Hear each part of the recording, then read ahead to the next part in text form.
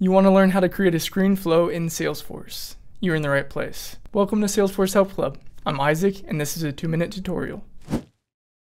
Screen flows can be used to accomplish so many different types of things in Salesforce. Generally speaking, you should use a screen flow when you want a user to start the process, or you want a user to be able to interact with the process. I'm going to quickly walk you through creating a real screen flow in order to teach some basic concepts. We will be jumping straight into Flow Builder, so if you do not know how to get to Flow Builder or you need an overview of flows first, check out my Intro to Flows video. Alright, let's take a look. For this flow, I want to search a few different fields on lead to find spam leads and then be able to delete those spam leads in bulk.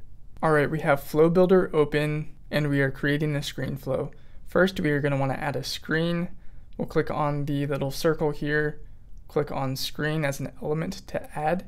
With every single element and every component within an element, you'll have to give a unique API name, and sometimes you will also have to provide a label.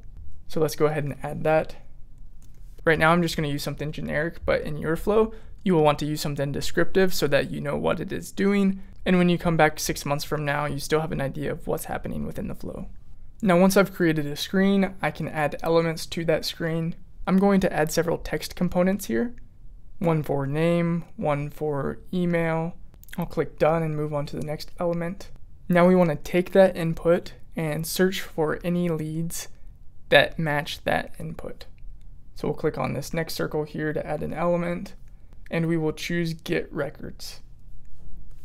We will name this element, choose which object, which is leads.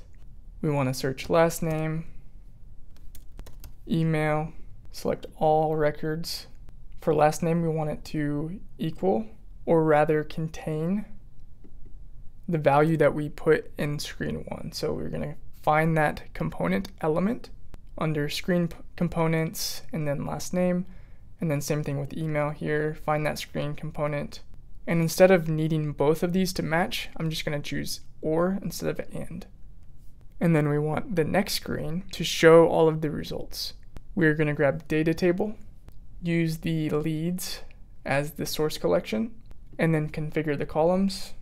We will use first name, last name, email, and description. For the rows, we do want to leave it as multiple. Then we have to give our data table a name and click done. Finally, we want to delete all of the rows that the user selects. So we will add another element choose delete records, give that a name, and then choose the lead table screen component and selected rows, and click done. Now let's go ahead and save the flow and give it a name.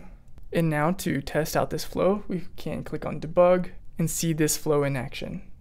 So I will run the flow, type in at abc.com as an email because I know that is one of the email address domains where I am getting a lot of spam email from. Click next. Now I will see the results in the data table. I can select which spam leads I'd like to delete in mass, click next, and now those leads get deleted. This was a quick example of a screen flow to help you out as you get started on your screen flows. I hope this was helpful. Please like, subscribe, and comment. Thanks for spending some time with me. See you again next time.